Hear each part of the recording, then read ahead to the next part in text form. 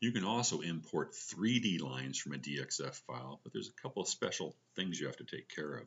If I look at the layers in this DXF file, I have 2D plan lines on one layer. Then we have a separate layer that has these five different items. And it's just a single 3D polyline on each one. So I'm going to right click and say I want to export to LNW. All right. Except by this time it's plan lines with template information. I'm going to right click and assign that layer as my plan lines. And then down below at the end, that's my, my layer with my center line. It's just a single 3D polyline on each one of these now. My left toe, good.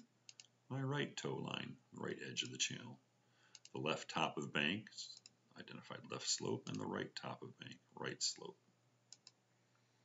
Very good. Now we'll just say export. We'll give it a name, 3D lines. Let's close it.